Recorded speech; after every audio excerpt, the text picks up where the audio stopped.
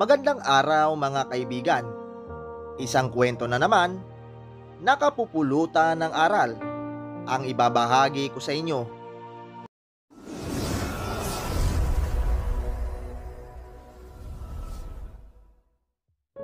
Ho, paano naman po nangyari yun? Akala ko ba sabi nyo, maayos naman ang lagay nila. Bagsak ang balikat na sagot ni Sheena sa kanyang ina. Matapos siya nitong tawagan upang ibalita na napariwara daw ang dalawa sa kanyang mga nakababatang kapatid na lalaki. Pasensya ka na anak, matagal na itong nangyayari. Ang totoo ay ayaw ko lang talagang bigyan ka ng isipin. Kaya sinubukan ko solusyonan. Pero hindi pala kaya. Malungkot namang sagot sa kanya ng ina. Napabuntong hininga na lang si Sheena sa sobrang pagkadismaya. Sige nay, magpapaalam na lang ako sa amo ko para makauwi ako sa lalong madaling panahon. Nasa po ng dalagang si Sheena ang kanyang noo matapos ibaba ang tawag sa telepono. Hindi niya akalaing biglaan siyang mapapauwi sa Pilipinas dahil sa ganitong klaseng problema. Ang buong akala pa naman niya ay makakapagpatapos siya ng mga kapatid sa loob ng pitong taong walang bakasyong pagtatrabaho sa ibang bansa. Ngunit ganito pala ang aabutan niya. Sa huli, balak pa man din sana niyang mag-renew ng kanyang kontrata dahil inaasahan niyang sa isang taon pa pagtatapos bilang engineer ang kanyang bunsong kapatid. Sa totoo lang ay sinisisi niya ang kanyang sarili.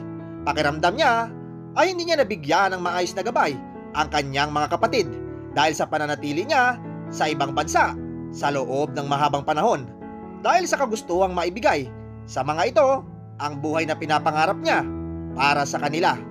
Ngunit ngayon ay pinagsisihan niya na ang lahat ng iyon. May sapat naman siya ang ipon pero iniisip niya na sa hirap ng buhay ngayon ay siguradong hindi rin tatagal ang perang hawak niya. Ganoon pa man ay pinagpapasa Diyos na lamang niya ang lahat. Bahala na, ika nga. Makalipas lang ang dalawang linggo ay nakauwi rin sa wakas si Sheena. Malakas ang pagkabog ng kanyang dibdib nang tuluyan na siyang makababa sa eroplano at nakatungtong muli sa kanyang bayang sinilangan. Ganoon na lang ang pagkasabik niya sa lugar, ngunit hindi pa rin may aalis sa kanya ang pag-aalala dahil inaasahan niyang problema sa bahay nila ang kanyang dadatnan. Isa sa kanyang mga pinsan ang sumundo sa kanya sa airport. Dahil ayon dito ay may sakit pa raw ang kanyang ina.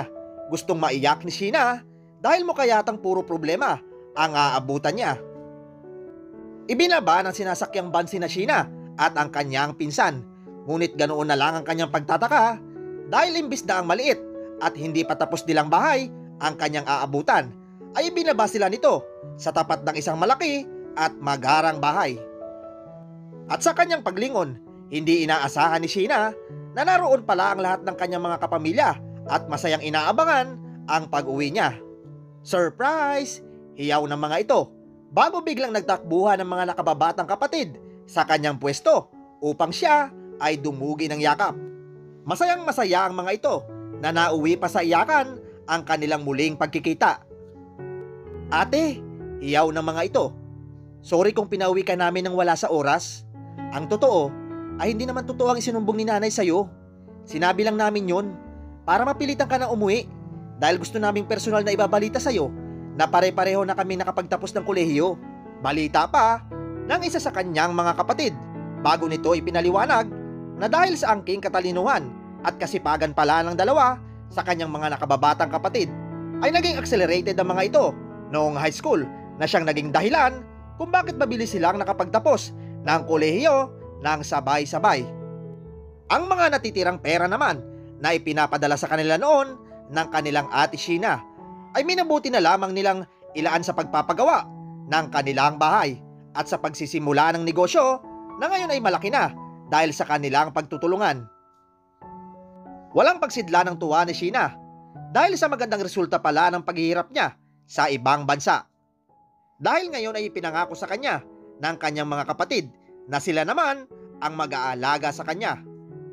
Siguradong babawiin nila ang mga panahong hindi sila magkakasama at ipadarama sa kanya ng mga ito kung gaano kalaki ang pasasalamat nila sa kanya dahil sa kanyang mga sakripisyo noon. Mahal na mahal ka namin ate. Ikaw ang nagsilbing superhero namin. sa matagal na panahon at lahat ng narating namin ngayon ay utang namin sa'yo. Salamat, mahal naming Ate Sheena.